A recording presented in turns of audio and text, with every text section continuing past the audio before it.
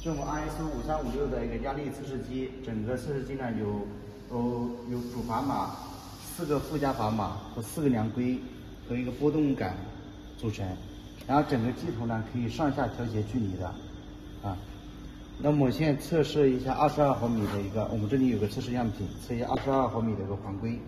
那首先选量规啊，把组装上去。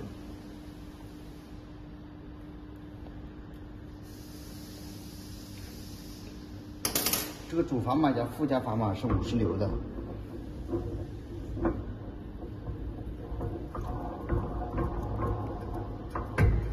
嗯，那我们嗯样品先轻轻放上去，放上去轻抬脚踏开关啊，轻抬起来，嗯，再拨上来，啊，然后轻轻落下来，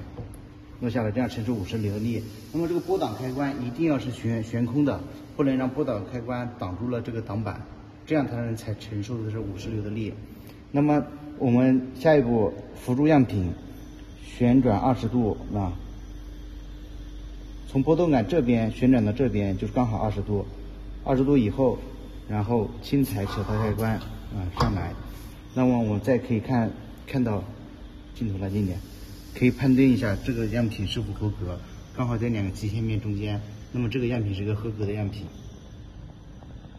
嗯，对了。